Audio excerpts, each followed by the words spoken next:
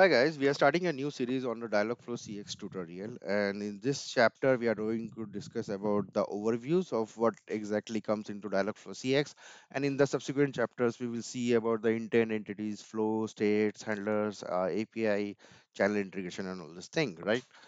Okay, so before moving on, uh, just a simple request to everyone whoever watching this uh, contents or any of the content creators video, right? Do subscribe to their channel for my case 92% are not subscribing to the channel. And if you find this video useful if you're coming from google search or do like subscribe and don't forget to give a thanks if you find this video useful okay? So first of all what is dialogflow cx okay so dialogflow cx is again uh, uh, one of the platform provided by google. Uh, earlier they used to provide the dialogflow es and this is dialogflow cx okay and over here uh, it is more related to or more compatible with the telecom services or telecom platforms okay?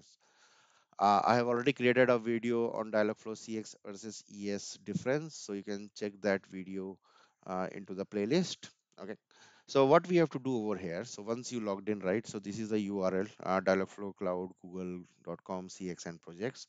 So what you can do is if it is your first project in uh, google dialogflow either you can create a project okay or uh, so once you do a create a project it will create a gcp account and it will create a project over there and you have to enable the billing okay so that is important thing over there.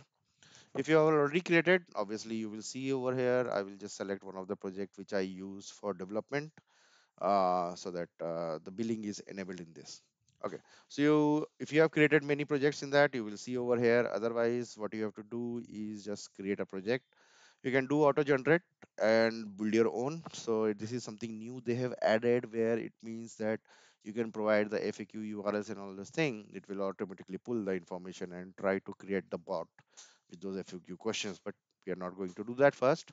We are going to use build your- our own. We will see auto generate one also later on okay so it will ask you for some information okay so i will give the name as read the manual and I will select global as the location. Okay. Uh, I will keep the English as a location and time zone I can change or let it be over there. Doesn't matter. Once I click create, what it will do is it will create a agent. Okay. So in a project you can have multiple agents over there. In Dialogflow ES, only one project can have one agent. Okay. By default, this is what you get, default start flow, and that contains a start page. Okay. So this video is specifically about the overview, what we have, where we have the things, right? So over here, uh, Dialogflow divided the development into categories, right? One is the flow, and within the flow, you can have pages. Okay, so if I go over here, so within the flow, I can have page, right? So if something like uh, I create a new page and give a name as main menu, um, it will create a routing. So what you say over here uh, routing from this page to this page okay so if user trigger default welcome intent it will go to my page which is mentioned over here okay so this is like a in a intent uh, subsequent things that you can do uh, uh, for the particular journey okay? So how can i explain? So let's say if i have to create uh, something like this a service uh, intent and uh, uh, sales intent and something like that right? So what i will do is we will create two intent okay?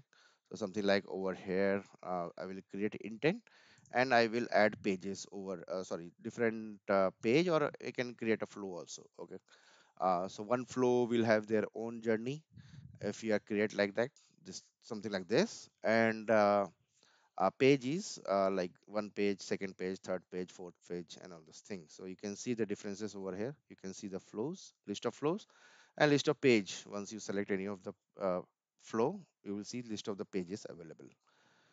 Uh, more in the overview. Okay, so we do get something like intents, which is also into the dialog flow. ES side entities same. Webhooks is to call any of the API route groups again if there are certain flows which are common let's say authentication one right and so you can put those into route group or faqs like there are list of faqs that you support you can put that into the route group so then they have something called uh, data stores which is like connecting to the uh, Vertex AI where you can upload your uh, faq urls pdf document and all those things it will parse it and uh, try to give you the responses right? And generator is like uh, our chat gpt thing where uh, you give the prompt and it will try to generate the response uh, with its own nlp capabilities right uh, this is the area where we do the integrations with different platform right? And this is the area where you can integrate with the github or you can have different versions like uh, environment like dev production qa and all those things ci/cd is still in preview okay?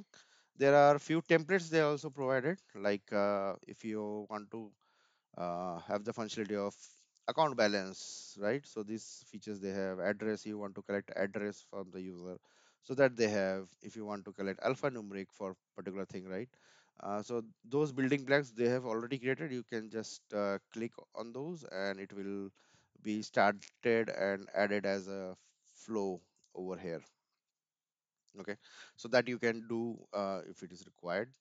Uh, uh, apart from the overview, I think uh, you have to know something about the settings, right? So basically, machine learning settings are there. You can set to advanced NLU or standard NLU. This is the threshold level, means confidence level, right? Uh, generative AI is over here. You can trigger and uh, create the details over here, data store details over here Speech IVR, speech IVR do provide with something additional capabilities like enable the DTMF and uh, over here enabling the barge-in where it is the barge-in. Yeah, enable the barge-in. So this is specific to the telecom calls, right? When you integrate with any of the uh, voice platform. Okay. And then rest of the things are the same what we get usually in Dialogflow ES like uh, uh, do you want to send uh, SMS with uh, multimodal company This is kind of a uh, visual IVR, uh, which we used to say. Uh, we have not used it yet, but yeah, definitely it is there. And you can share among your uh, uh, different friends, uh, developer over there, language which are there, and definitely you can add more locale to particular language. So let's say it is a English, you want to uh, uh, what you say, allow uh, India accent or US accent or UK accent, right? So you can click on add and that will start appearing over here. Okay uh, security wise, again, uh, nothing major is there.